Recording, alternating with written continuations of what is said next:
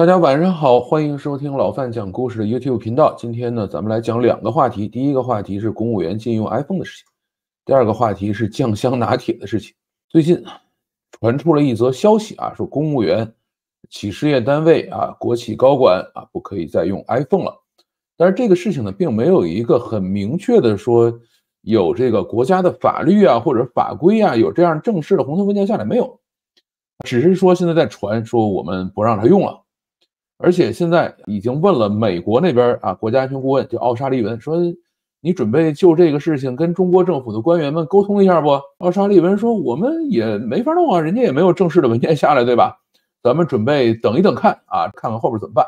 现在要静观其变。现在的情况呢，基本上是啊，对于这种复杂系统缺乏信任之后，就会变得完全不可控。因为像 iPhone 这样的东西，或者包括像任何手机这样的系统。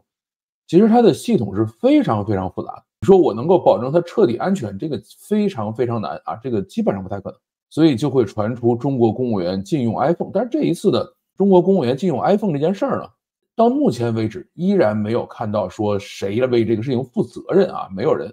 因为你如果提姆库克到中国来了，可能还是会有非常高规格的接待，不能互相打脸啊，对吧？中国公务员永远是想办事情又不想担责任的一个状态，所以这个事情依然在流传。但是呢，他也不会去说制止说，哎，我们不不要传这个事儿啊，不要瞎传，不会干这事儿。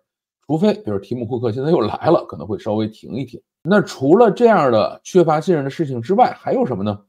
其实呃，禁用 iPhone 这个事儿不是从今天开始啊，就一直都会有这个。我记得可能三四年前就有人说要禁用 iPhone，后来发现安卓更不安全，所以大家还是继续使用 iPhone 使下来了。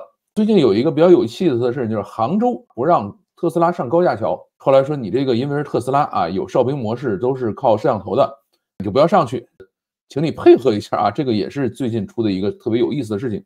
今天我还看了一个特别神的事儿，是好像是武汉还是哪个高铁站，让因为特斯拉开进去了，所以从今天开始要封闭整个整改啊，因为你们已经有特斯拉进去了，甚至还有很多的小区里边呢也是。不让特斯拉进入啊，或者说专门划出一个很特殊的地方做这个特斯拉的停车区啊，这个是比较奇怪的地方。这个也是一个对于复杂系统缺乏信任的一个表现。还有什么啊？比如说英国外长访华期间，先要去接受反间谍培训。你到中国来吧，你自己的手机、电脑，所有的东西都别带了啊，我给你发套新的。等到中国访问回国之后，把所有这些电子设备、电脑、iPad、什么手手机什么的。物理销毁啊，你再去拿自己东西再去用，这个呢其实都是同样的事情啊，一模一样，只是呢有些呢是摆在明面上的，比如英国这个就摆在明面上了，而且也被他们这个国内的报纸所报道和嘲笑。咱们国家这些事儿呢，就好多都是这种啊，第一个叫潜规则，第二个呢叫谣言在流传，但是呢不允许辟谣啊，第三个各层领导哈或者各层执行者啊自行理解。公务员禁用 iPhone 这个事儿不会有正式法律，也不会有正式本，所以美国人拿这事儿也没办法。你说让美国安全顾问说你找中国人谈一谈，没啥好谈的，人家也没下文，我跟人谈什么？你说我要谈一下，说请注意一下你们民间的这种倾向嘛？这个事情是会自取其辱的，因为前面中国人往这个日本大使馆上大概是扔石头还是扔什么油漆罐，日本的记者就去问中国外交部的发言人说。你们是不是准备啊出一些办法来去控制一下民间情绪呢？当时好像是汪文斌在上头就讲日本人啊排核废水是怎么怎么样，义正辞严了讲了这半天，最后呢丢了一句我们中国人也是有这个表达自己意愿的权利的，当然我们会保证所有合法在中国的外国人的人身安全。大概补了这么一句，你要不仔细挑，你未必能把这句话找出来。所以呢，啊像这种民间开始有这个民怨沸腾了。啊，他呢不会说什么，但是呢会在这看着。你如果让他说你纠正一下，你弄一下，也就是自取其辱一下。这个东西有点像什么呢？老佛爷时代的那个义和团，对吧？你说这事儿是朝廷的吗？不是朝廷的，他们自发的啊。但是老佛爷也不会说说你们去烧杀抢掠，你们去把这个英国人使馆烧了，他们也不会说这话。基本上就这么个事情。这个事情呢属于叫大家自己领会，属于一个潜规则，看辟谣的态度。这一次呢基本上就没有辟谣啊，也没有任何人说这个事儿有还是没有。啊，中国的事情很多就是你认真辟谣的这个事儿呢，八成是真的；不允许辟谣的九成九是真的，对吧？它就是这样的一个情况啊。但是这个好处是什么？不会有任何人承担责任。这个也有可能呢，突然就变成伤害感情的事情了。像现在我们就要求身上穿的衣服不对了，对吧？说话说错了，伤害民族感情了，你就要去接受行政处罚，罚钱或者被行政拘留啊。现在是这个行政处罚的法案正在审议。那么这一件事情呢，其实它后面是商业的问题啊。什么是商业的问题？大家知道以前有很多 iPhone 其实是政府采购的，甚至很多公司说我们要采购一些手机，比如说作为礼品来赠送一下。火锅店开店十周年，税务局送他个纪念小礼物，一个 iPhone，这事儿没毛病吧？但是这个可能现在 iPhone 有点贵啊，这这个送 iPhone 差点意思。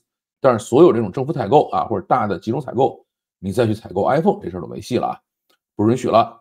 其他的呢啊，就要看这个到底有多少转化了，到底到时候我是转化成这个华为啊，还是转换成什么东西啊？这个就不好说了。华为呢，今天是又在 Mate 六零 Pro 之后加了六零 Pro。Plus 啊，又加了号，还做了一个华为 Mate X 五，就看来呢，就是他们这个麒麟九千 S 这个芯片还是蛮多的啊，所以又出了两款新手机，接着在这折腾。高端手机市场其实呢，iPhone 基本上是无可战胜的。你像 iPhone 就是从五千块钱往上的手机，基本上全是他们家的。华为、小米、OPPO、vivo 本来是想在这块占一块的，除了华为，大概在被封禁之前还是有相当市场份额之外，其他小米、OPPO、vivo 实际上都没占上。所以现在呢是小华为再杀回来，说我要重新把这个高端市场再占占上去。全球的手机市场实际上都在萎缩。二零二二年中国一共是卖了二点八六亿台手机，同比下降了百分之十三点二。中国这个手机已经卖不动了。全球一共是卖了十二点一亿只手机，同比下降了是百分之十一点三。到二零二二年，全世界的手机都卖不动了。iPhone 呢还算卖的好的，因为 iPhone 的整个的比例在上升。iPhone 卖掉了多少？在中国卖了是五千四百三十二万只，还大概上升了百分之零点一或者百分之一这样的一个水平。在全球是上卖了两点三二亿只手机啊，叫 iPhone，这是一个很恐怖的数字，因为这是整个手机行业里头利润最高的一块，就真正最挣钱的这一块啊，都被这个 iPhone 给吃了。现在呢，华为说我现在想吃这一块，那你就得。想办法把这 iPhone 的份额挤掉一些。华为呢，现在末就是它现在传出来的消息是 Mate 六零 Pro 的这个备货是一千五百万只，或者是一千七百万只。你说我去挤小米，挤什么 OPPO、vivo，挤什么这些玩意儿，你挤不掉，因为原来它这个六千九百九十九的这个档次，它就没有几个机器，或者卖的也很少。你要想在里头出一千五百万只，你只能是在 iPhone 中国的五千四百三十二万只里头挤啊，没有任何其他的办法。这只是华为六零 Pro 啊，然后还有华为六零 Pro Plus，对吧？还有华为 X 五，对吧？就是这种折叠屏的华为手机都要上来。在这样的情况下，我们就要把这个五千多万只啊，至少把它挤掉一千万只出来，那么才有华为这些手机的这个市场生存的空间，否则没有。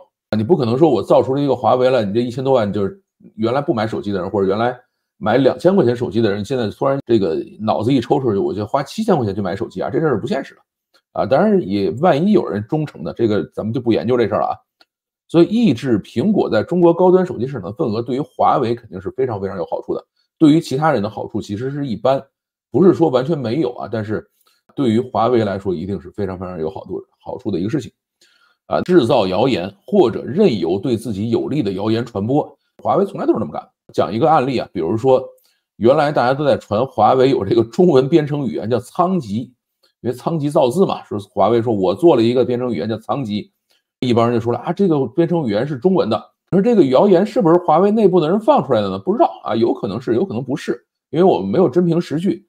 但是呢，我也跟华为内部的人说了，我说既然你知道是假的，为什么不去辟谣？华为的内部的人说这个事儿反正对我有利，我愿意信，那么他们就信呗。我为什么要去辟谣啊？我就这么耗着，就这么搁着搁着。所以呢，这个呃，公务员禁用苹果手机这件事情。到底是上面有意思传达下来的，还是说呃有某些别有用心的人制造的谣言啊？但是他就这么传起来了，而且华为完完全全是有能力、有力量让这些啊批驳这些谣言的人啊没有发声的渠道的啊。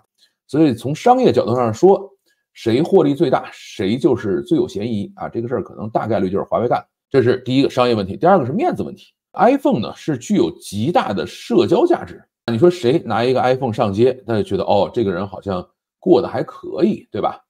在直播间直播间里头啊，定期抽奖，没有人抽华为手机的，大家抽的都是 iPhone。比如说像前面这个很多的抖音直播间啊，我每个小时抽一次，每个小时抽一次，就是为了什么？为了让大家留下来嘛，看到下个小时来抽这个手机嘛，抽 iPhone，没有任何其他东西可以替代。你说我抽个华为手机，抽个小米手机，你的人气一下就下降了。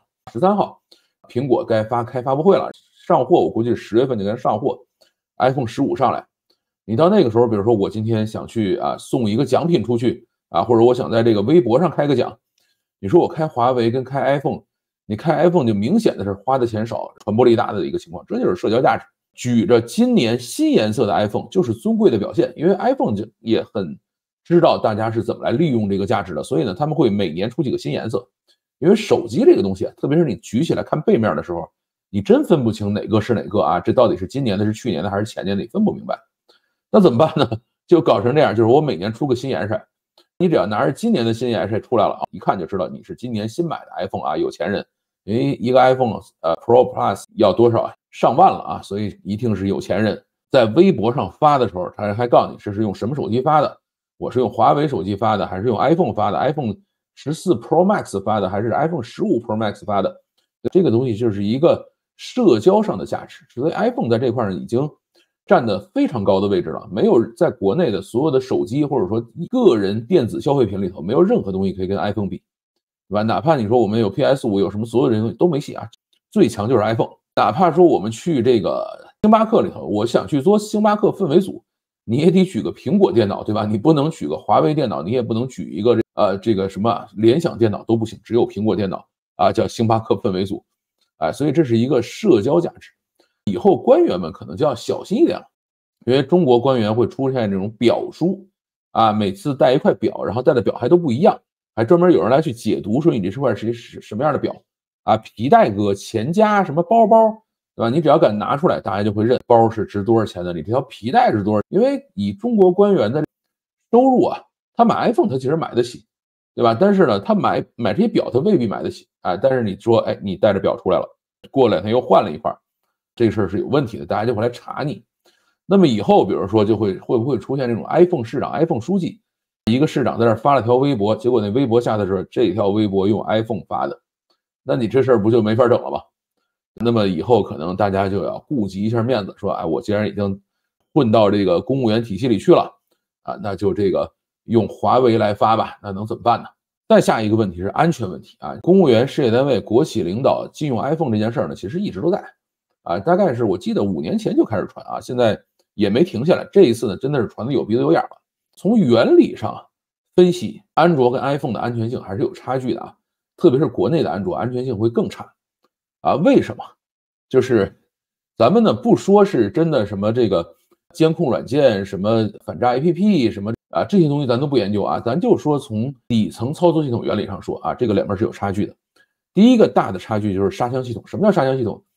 就是 iPhone 要求是每一个应用只能访问它自己的数据，比如说你自己装了一个 APP 在这个手机里去，它会要求你在这个手机里开一个目录，你这个啊应用里头用的所有的文件、所有的数据都在这个目录里，除了这目录以外的所有东西你不能访问。你如果我现在想访问一别的行不行？可以啊，你可以访问相册，啊，但是呢你必须要再申请权限。你说我现在想去访问一下摄像头行不行？可以再申请权限。啊，那你说我想访问一下旁边那个 A P P 的，呃，存储的目录行不行？不行啊，连申请权限的地方都没有，压根就没有这功能。这就是 iPhone 干的活。但是安卓呢就不是这样的，安卓是这个应用打开了以后是可以访问这个手机里边其他应用存储的内容的。你比如说我在微信里头留了一聊聊天记录啊，其他的应用上来就可以把它访问出来，看看你到底都聊什么了啊，头像都访的是谁的，这都可以干。啊，那你说我为什么知道这事儿？因为我们以前做清理工具的嘛，清理工具你上来以后，你如果不能访问别的那个应用存的这些内容，我咋清理啊？我咋知道哪个该删哪不该删呢？啊，所以呢，从沙箱系统这个本身来说，啊，它就是有差距的。第二个呢，就是更新策略，iPhone 的更新策略是相对来说比较安全的。你比如说，我今天 iOS 出这个十六点一啊、十六点二、十六点三这样的版本上上升上去以后。基本上二十四小时，百分之九十几的 iPhone 就全升了，这个是非常快速的一个升级策略，啊，这有什么好处呢？就什么时候会紧急升级？你发现 bug、发现漏洞了，它会紧急升级，对吧？但安卓它就不是这么个升级策略。安卓比如说，谷歌发现了一个漏洞，行，我现在要升级了啊，我现在把这个安卓的版本升级到多少多少版以上。那它升级了以后，谁会跟着升呢？Pixels 啊，它自己出的那些手机会跟着升。跟三星说说，哎，三星，我这呃发现 bug 了，我要出这个新的补丁，你去升个级。三星说，你等我做个适配啊，我要把这你新的补丁跟我这些手机要适配在一起，保证它没有毛病，我才能给你升级。要不然你升级上去以后会有一些适配问题，它就会出这个，比如蓝屏了，或者说死机了、重启了、变砖了，这事儿有可能啊，这是不行的。那三星，比如说去适配了，那适配呢？它也不可能把三星所有手机一把都适配了，因为三星的手机之间差异也很大呀。那怎么办呢？我先把这个最新的、最贵的旗舰机适配了，这个再给你去更新啊。把最新最贵的旗舰机适配更新的这个过程，可能就需要半年。呃，谷歌出了补丁之后，三星过了半年把今年最新的旗舰机适配了，再过个可能两三个月，再把这个去年的旗舰机适配了，就就到此为止啊。那你说我非旗舰的手机和这个再往前买的手机怎么办呢？这个三星人心里也想呢，您不得买个新的吗？以前的我们就不管了呗。你知道有 bug 有漏洞，我们就不更新了。所以导致什么呢？谷歌的每一次更新，它大概过了一年，整整它这个版本发布了以后，一年之后，这个更新的百分比大概也就能达到百分之五六十或者六七十这样的水平。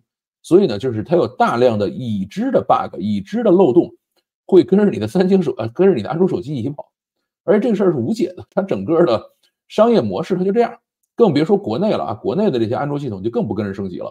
所以你国外，比如说一更新了、升级了啊，国内的手机就变得千疮百孔，全是 bug，对吧？全是漏洞。应用的分发策略也是不一样啊。比如说我今天要在这个手机里分发应用了，在这个安卓呢，其实一直都是允许你侧载的，就我从应用市场外面去这个下载应用都是 OK 的。特别是在中国，中国没有 Google Play，甭管你是华为、小米、OPPO、vivo，你都不敢说。说你除了在我的应用商店里下载应用之外，你不允许到任何其他地方下载应用啊，都没有这能力。所以呢，就有大量的这种从应用市场之外直接从网站上下载的 APP 回来。那么这些 APP 的这个安全性就差得一塌糊涂了。在 Google Play 上啊，它的这种 APP 相对来说还要好一点，因为它会去检测是不是换皮包，是不是这有病毒，或者是不是有什么问题，它会检测。啊，苹果也是会检测的，但是国内的这些啊，就完全没有任何保证了啊。云端的这个信息存储方式呢，其实也是有差异的。你比如苹果，就算在中国我用苹果，它都给我存在云上贵州，都是他们一家的，呃，相对来说也比较安全啊。你如果说用安卓的，那你真不一定存哪儿去了。你用啊用小米的存小米服务器上，万一他们再跟谁签个合作协议啊，这个事儿就啊云端存储这个事情就会变得乱七八糟的。但是你说这些手机是不是苹果手机就安全啊？在开刚开还有人问我说。是不是苹果手机安全？是不是有这个领导干部双规了以后啊，不愿意把这苹果的密码交出来，就就怎么怎么样了？你想多了。所有的手机在 root、在越狱、在所有的这个叫电脑调试器面前都是不设防的，千万不要 认为谁的手机就更安全一点，都没有什么特别大的差异。啊呃，苹果呢，就是 root 以后，而你越狱了以后，它是有痕迹的，你可以认出来啊，你可以知道你现场把你的东西拿走没毛病。说我这个手机。拿来了以后，我们说这个没有发现你越狱过，这事儿是不可能的啊。但安卓是可以的，我越狱完了以后还给你恢复回去，甚至我把这个一些应用装到你的安卓手机的某一个特定位置里去，它可以实时监控你，让你发现不了，这事儿是可以干的。苹果这干不了，对吧？因为它操作系统没有提供这些功能。但是你说我这个苹果手机里存的所有内容、所有信息，基本上都还是可以得到的啊。这个千万不要想说得不到这件事儿。咱们讲讲安全性了，那你说英国人干这活是不是太敏感了？咱不说中国人干这个事情啊，比如说咱们啊不让公务员用苹果，不让特斯拉上这个高架啊，咱们是不是敏感过头了？英国人是不是也敏感过头了呢？把这个回个国就把所有的手机都直接销毁掉啊？这个真不一定，因为现在这件事情是什么？它就是缺乏信任，缺乏信任的情况下，把手机直接物理销毁，其实是最高效、最低成本的处理方式，没有之一。你说？这个手机为什么到中国走了一圈都在你眼皮底下，它就怎么这么不安全呢？跟大家讲一个旁边的小故事啊。今年呢，在江苏省镇江市啊，就应该是在这个月发生的事情。有一个小吃店，应该是什么什么牛肉汤小吃店，收到了一张 WiFi 罚单。什么意思？就是牛肉汤店提供开放式 WiFi，输入密码即可登录，未登记用户信息和号码就让用户上网了。那么这种呢，就直接被当地警察罚了，啊，当然呢，这个里头有两件事啊。第一件事是没有进行实名认证，啊，你就让用户上网了，这个事儿呢，他们警察觉得这事儿不行啊，你都上网了，还不知道你是谁，这万一你在里头说点什么不太对头的话，谁给你背这锅呀？这事儿不行。另外一个是什么？所有的这种开放式 WiFi 啊，所有这种拿个密码就可以登录的 WiFi，都是非常非常危险的，啊，像我以前在安全公司里边上班，就是猎豹移动实际上是个安全公司啊，我们那儿的那些安全工程师，或者说你们认为他是黑客也没毛病，这些人是从来不用自己的手机随便去连别人的 WiFi 的，因为你一旦连上以后，特别是像刚才我们说这种，你连到了一个开放式 WiFi 或者输个密码就能上的 WiFi，那么它是干嘛用的？它是相当于在家里头一样。哎，它不是这种访客网络，它是这种家庭网络，或者说内部网络。你一上去以后呢，大家就认为我进入一个可信状态，他们可以在这个过程中随便的去啊，在这个网上可以找到邻居啊，或者说找到其他的相邻设备，就可以相互访问、相互操作了。所以这个过程是很危险的。很多的人甚至因为随便登了一个 WiFi，就把所有手机里的秘密全都给人拿走了。这个事儿是很正常的一个事情啊。我记得以前我们一个安全工程师，他呢就跟我讲说，他去印度去开会去了，啊，到印度开了一个会，然后发现，哎，这个酒店里的网络居然是直接输密码就能上的啊，这个实在是太神奇了。他就输了个密码上去，上去了以后呢，就直接破解进入到了酒店的监控系统，进到酒店监控系统以后，他就可以看到每一个房间里在干什么。所以就是所有这种开放式的 WiFi 都是非常非常危险的。那英国这帮人。拿着手机、拿着电脑、拿着这些东西进到中国境内来，他就会登录大量的这种开放式 WiFi。那你登录进去以后，你不能知道说整个这个 WiFi 环境里头是不是有一个黑客在准备破解所有登录上来的设备，这事儿你是不知道的。手机本身就是一个千疮百孔的一个系统，就是漏洞是很多的，甭管是 iPhone 也好，还是安卓也好，都是有很多漏洞的。啊，它连接到这边的 WiFi 会变成什么样？现在还有一些什么东西，充电宝，对我把这充电宝往上一插，就直接破解了，啊，我就可以得到你手机里所有信息。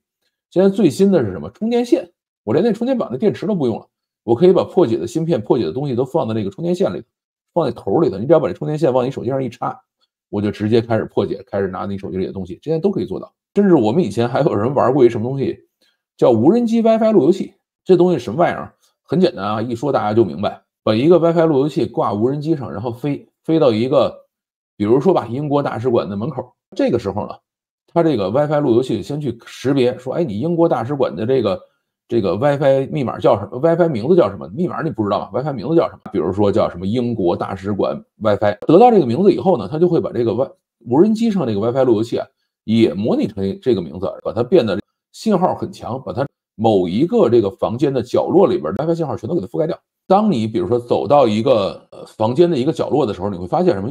啊，你手机上不了网，你说，哎，我也连到这个 WiFi 了，怎么找我要密码呢？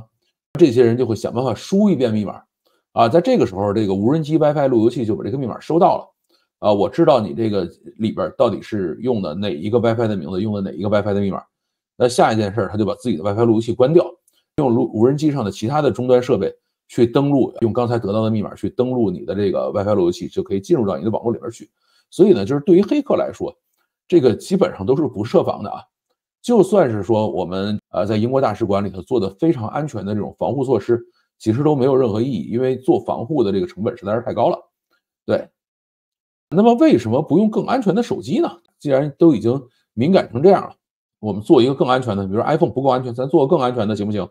别费这劲啊！iPhone 已经是所有能买到的手机里最安全的了。手机是一种大众消费品。啊，而且有大量的工作、大量的事情需要在上面做，你把它做的太安全了以后啊，这个成本是无法接受的啊，因为你需要这个道高一尺，魔高一丈，你需要把所有的手段都防护掉，哪怕说我成本能接受啊，但是你用户使用也是有成本的啊，我要用这个手机，我也需要这个干嘛呢？去比如说对这个手机进行三次解码，比如我给你必须你的密码设到。一百位以上，我才允许你这个成功进入。那你这个手机谁会用嘛？没有人会用嘛？因为用户哪谁记得住一百位的这个叫做什么呢？谁谁记得住这个一百位的这个密码呢？搞不定的嘛啊！所以不可能说通过制造更安全的手机来解决这个问题啊。那么在信任缺失的情况下，就会产生一些非常可怕的后果啊。像以前在古代军中有一种很特殊的现象，叫什么叫营校？什么意思呢？你突然在大营里头。嚎一嗓子啊，就是军营，大家都是呃这个血气方刚的小伙子住里头，谁晚上做噩梦，突然一嗓子嚎起来了，啊，那以前是遇到这种情况下直接砍头啊，直接要杀人的。为什么？因为你一旦这个一个人想起来喊起来了，其他人不知道咋回事儿，也会跟着喊啊，跟着喊完了以后，整个就要炸营了，你这个大营就不攻自破了啊。现在呢，其实就有一点点在向这个方向发展。从 iPhone 换安卓是不是更方便监控啊？这个是 前两天听到那个散人讲的一个故事啊，说为什么要换安卓，是因为他们认为安卓是相对来说比较容易装后门，比较容易监控的。啊，这件事儿呢，怎么说？从技术实现的角度上来说呢，确实如此。但是，呃，这个怎么说呢？我相信我们的领导干部们，或者说在传这个谣言的人来说呢，并没有想到那么深远的意义。你比如说，我们举一个最简单的例子，啊，你把一个照片啊存到 iCloud、iPhone 上面这个云端云盘去了，存上去以后呢，iPhone 是不会随便给你删掉的，也不会给你隐藏起来，对吧？它它就是这就是你的。但是你如果存在安卓的网盘上，比如说你存在小米网盘上了，啊，你存了一个不太合适的照片，小米可能检查一下就，直接替你删掉了啊，这是没办法的。为什么会出现这样的问题？因为咱们对它有要求，你必须要检查这个东西。如果是从你这里传播出去，从你这里共享出去的，啊，它要承担相应的责任的，啊，因为而且 iPhone 呢，对于监控软件来说，它在操作系统设计的时候就没有留这个后门，就是我们讲叫杀僵系统嘛，它压根儿没留这个权限，权限申请呢。iPhone 还有一个特别讨厌的地方是什么？它每次都问你，哎，你说我现在想用一下你摄像头行不行啊？行，啊，像安卓呢是，他问你一次你就同意了以后，它就一直就可以用了。你可以把手机，比如说被人拿走了，或者在这个你不在你眼前的时候，他就把这个 Yes 都给你回答掉。iPhone 不这样，iPhone 是经常会每次问你，哎，你真的要去这个什么一下吗？这个给给人用摄像头吗？你还这次给不给？下次给不给？他每次都问你。啊，对于这个 iPhone 用户来说，其实要更安全一些。iPhone 本身对于隐私保护呢，保护的相对来说是比较严格的，差差一点点就把那个谁 Facebook 给弄死了，对吧？就靠 iPhone 的保护隐私这个条款，因为他说我就不把这个手机上的所有的信息发给你啊，包括这个人是谁，他的手机的唯一标识号、手机号、手机上装了哪些软件，这些东西都是保密信息，我不给你，都算是用户隐私。他也是在干这个事情，那他差点怎么把美塔干掉了呢？这个美塔是要靠这些信息来去提高广告投放的精准度的，只有投的准了，它这广告才能卖的贵嘛。但是苹果呢，我相信它也不是说真的要保护用户隐私啊，它还是有私心的，居心不良。它居心不良是什么？你把苹果如果是可以挑选用户的话，它你一定干嘛？要往那个购买意愿高的那个地方去投广告。那购买意愿低的用户或者比较穷的用户，我就不投了，对不对？那么对于苹果来说，那不行啊，你原来想在我这。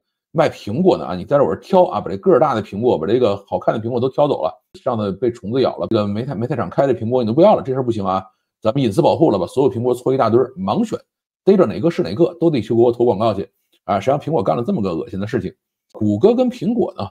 你说是不是他就不会配合政府机构？然后政府机构上来说了，说我现在想查一下谁的东西啊，或者我想监控一什么事儿，谷歌也好，苹果也好，会不会配合？会啊，绝对会。啊，千万不要认为说谷歌跟苹果是不会配合这件事儿。它呢，在谷歌在德国，在这个什么，它也会封禁这个纳粹相关的这个信息。但是呢，只要政府你给我下一文件，盖上章，解释清楚我要封禁哪些内容，这个达到什么什么样要求的，就算过线了。你只要告诉我，我就照着办，没有任何问题。苹果也是这么办理的啊。比如说这个工信部给他下一文说，啊，盖上章，说我们现在在整治什么什么样的信息，比如说我们要整治所有。用这个 ChatGPT 的，在境内没有经过审核、没有经过申报用 ChatGPT 的，我们都要把它干掉。那苹果拿到这个文件以后，也会老老实实的去执行的啊，没有任何问题。啊，包括比如说，现在我们要求了这个 APP 要备案啊，你以后没有备案的 APP 不可以在中国苹果市场上应用市场上去上架。那苹果也会老老实实、认认真真执行啊，千万不要认为说苹果就这个多硬气、多那个什么，它就可以啊把这事儿就可以顶住啊，是没有这个的。啊，问题在哪儿？为什么他还是喜欢用安卓，不喜欢用苹果啊？因为国内没有谷歌啊，国内安卓就是华为、小米、OPPO、中啊、vivo 啊、中兴啊，就这玩意儿。为什么？因为呢，中国有好多事儿它是没有红头文件的。就像这这一次说公务员不让用苹果，它没有红头文件，也讲不出为什么。但是呢，就是领导有这个想法的一个眼神传递下来，你看你懂不懂？但是苹果跟谷歌这种美国公司就不行啊。他说我如果真照你这个眼神给你办了。办完了以后呢，你这个下回说你不知道啊，这个事儿是你自己自行领会的，那这玩意儿我哪给你担这责任去啊？这不行，对吧？你必须给我一红头文件。但是呢，这个在中国就属于无解，对吧？我记得当时看谷歌重新发明公司那本书里头写的说这个，呃，说谷歌当时是怎么退出中国的，对吧？特别有意思，他还讲说，中国政府经常要求谷歌屏蔽很多的这个敏感词，谷歌呢也很认真的，你发发文过来，我就给你屏蔽。但是呢，谷歌有时候特别讨厌，他就问你说你为什么要屏蔽这个词儿？他有一段时间，比如说屏蔽某一个省的省的名字啊，或者屏蔽一些什么其他东西。然后另外呢，你给我一个理由，说你你这个屏蔽到什么时间啊？第一个是为什么屏蔽，第二屏蔽到什么时间？在中国政府这玩意他说不出来，我就要求你屏蔽啊。但是呢，这个为什么屏蔽到什么时候结束都没有？谷歌就在这个地方，等于是跟中国政府之间闹的就不是很愉快。谷歌就觉得你让我屏蔽，我就给你屏蔽呗，有啥不能说的呢？你就大明大放的给我盖个章，说文件给我扔来，我就照着办不就完了吗？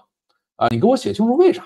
万一有人到我谷歌这来投诉，或者到我这来起诉我，说我本人信息删了，是吧？我也可以拿你这个东西出来应诉嘛。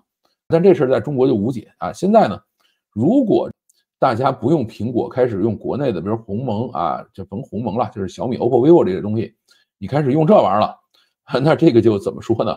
它就可以啊，一个眼神下去就可以搞定这件事儿，而且这个眼神呢，通常还不是需要特别大的领导，可能真的是片儿警一个眼神的给你搞定了，对吧？就不需要这个啊，到哪一个处级、局级、厅局级或者什么都不需要啊，各级领导都可以随时随意的下达监控指令了。而且国内的有很多这个公司啊，是直接提供员工监控服务的啊，而且在 AI 的加持下如虎添翼。那你说你是作为一个提供这种项目和服务的公司，对吧？那么你会去考察说你这个公司的呃老板有没有权利去监控你的员工吗？他不会去考察这件事儿，只要下单他就会把这东西卖出去，对吧？他是这样的一种工作方式。啊，这个东西本来是为了干嘛使的？开发这个系统原来的目的是为了避免锅炉工值班睡觉的。比如说我是锅炉工，我在这烧锅炉啊，但是我值夜班，我困了，我睡着了，那么这是很危险的，因为锅炉会爆炸嘛，所以他们会实时的来监控你。当然，另另外一个就是避免这个像刘思熙这样的人再写出像《三体》这种书来啊。为什么呢？就是这个刘思熙这个《三体》基本上就是在水电站里头摸鱼写的啊，现在。有了这种监控系统以后啊，就再也不会出刘慈欣，再也不会出三体了。最近还有一个特别神奇的故事是什么呢？有一东西叫员工坟场，也是长长见识了啊。我原来从来没听说过，或者没想到到过还有这样神奇的东西。什么叫员工坟场？大家知道有很多这个企业是用外包员工的，你外包员工用完了以后，我不要你了，我这个项目卡了，我不用了。但是外包公司呢，就要把这个外包员工开除掉。但是呢，又不愿意来付开除的这个费用啊，因为你要把员工离职了，你要费用嘛，所以他们就会把员工派到一个离这个所在城市非常远的地方，比如有个五六十公里，把你派那儿去。派到那儿去以后呢，靠摄像头、靠手机监控软件来实时监控你。如果你不认真工作，那你就直接被开除啊，你算消息怠工。他让给你的工作是什么呢？比如程序员吧，他要求你手抄代码，对吧？你有哪个程序员听说过手抄代码这件事吗？给你这个几十万行代码，要求你抄下来，一个字不差的把它抄下来，没有任何的其他任务布置给你，每天监控看着你在无所事事的情况下手抄代码，是不是可以很好的完成？如果完不成，他就有理由可以不用给赔偿金把你开除掉。啊，这个呢就是跟监控相关的事情啊。苹果这块监控确实要稍微麻烦一点。那么后续就这事儿未来会怎么办？第一个呢，苹果股价正在下挫啊，而且下挫的很厉害。两千亿美金就不见了，因为它是个两万亿美金的公司啊，所以两千亿美金就不见了。在这样的情况下，苹果可能就会认为它会受到冲击，或者很多的呃投资者会认为苹果会受到冲击。苹果是在华为 Mate 60 Pro 发布以后就开始在股价就开始不动了啊，然后现在有这个传闻出来以后，这个股价就开始下跌。那么你说是不是有人这个故意放了消息到呃苹果那儿去炒这个买跌呢？这个可能性不是没有啊，但是反正不太好操作，因为苹果股价很贵，你要想操作这个玩意儿需要巨大量的资金啊，而且有非常大的不确定性。华为呢，本来计划是在九月十三号开发布会，本来就是惦记跟这个苹果找不痛快的啊。现在呃，美国商务部长来的时候又没有带来华为想要听的这些东西，那咱就鱼死网破，我把你这个苹果在中国的市场给你搅和了，对吧？刚才我们说苹果去年卖了五千多万只手机在中国。今年我给你在这上咬下这个一千万个缺口来，啊，万一能够咬出三千万缺口来呢？我自己吃个两千万，剩下的小米、OPPO、vivo 再分一分，对吧？大家皆大欢喜嘛，来搞这件事情啊。但是这个我觉得后边这个可能性不大啊。华为就算它自己手机的销量上升，苹果销量下降，OPPO、vivo、小米、中兴这些手机的销量已然会下降啊。因为这个你想想，它会转换哪些用户过来？大量的还是这个国内安卓手机的这些用户会转过来啊。真正的果粉啊，真正喜欢用苹果手机的人其实是转不过来的。那么后面的苹果的就是销量能不能起得来，我们还要看。苹果的股价是每一次开发布会都会跌啊！大家去看苹果历年九月份开发布会啊，因为苹果是二月份的发布会，基本上发布什么电脑啊、平平板啊这些东西，九月份发布会就发布一样东西，就是 iPhone 啊，或者可能有的时候有 One More Thing，有个 iWatch 什么这样的东西，对吧？那么每一年发布会股价都跌啊，跌完了以后呢，它再慢慢的用苹果自己的销量再把这个市场预期再拉回来，再慢慢拉升，每年如此啊，但是今年有可能够呛。因为他如果把中国市场这个两千万只手机丢了，或者是三千万只手机丢了，你想靠印度把它补回来吗？太难了啊！印度的这个老铁们，你们要努力了。苹果现在呢也在努力的搬迁供应链，哪怕上次提姆库克来了，对吧？他去跟一些中央领导座谈的时候，也没有说啊我们要这个大力支持中国的苹果供应链，对吧？人家也是说我们。啊，希望这个好好为中国提供服务，中国好好买我的手机，他也讲这玩意儿就完事儿了。对，呃，这个后面啊，提姆·库克和埃隆·马斯克这些人呢，是不会就一些愚妇愚妇的这种愚蠢做法啊，就会发表看法的。你比如说，特斯拉在中国其实受到的各种歧视要比苹果多得多。埃隆·马斯克从来不会说什么任何事情，咱们就每次来啊，你来了以后，谁愿意见我，我就老实见啊，见完了以后呢，咱们就好好干事情，最多也就是。啊，一些新闻报纸说我愿意去登一下马斯克这个了，马斯克那个了，也就是如此了。啊，但是你说，哎，马斯克站出来说，我特斯拉这个，呃，所有数据都在中国，我也经过所有审核了，你凭什么不让我进这个院儿，不让我进那个院儿？啊，不光是不让进院啊，大家知道，中国的有一个城市，每年大概有两个月是不允许特斯拉行驶的。啊，这个这个是河北省秦皇岛市啊，大家猜猜为什么？每年有几个月是不让特斯拉行驶？啊，你如果在那个城市里头买了特斯拉，你每年俩月不让开啊，大家觉得很开心吧？这个如果这个事情正式下文了，啊，就算彻底脱钩了啊，各种这个看新的这个治安管理处罚条例这个事儿呢，也难说啊，未必哪天咱们就不下文啊。这一下文说，哎，谁用 iPhone 算是伤害中华民族感情了，拘留十五天啊，这个事情你说有没有可能出现？也有可能啊，不是说完全不可能。啊，这个因为现在越来越加速嘛，你既然加速了，它到底加速加速到多快，咱也不知道。当然，你说如果发生了一些不可抗力啊，这个这个苹果主动走了，就像现在俄罗斯那样啊，俄罗苹果现在不为任何俄罗斯的境内的设备和境内的这些人去提供任何服务了啊。到那个时候，呢就彻底就断开了啊。这个是不是会发生那一步？但愿不会吧，也只能是如此啊。这就是我们今天讲的公务员禁止用苹果的故事啊。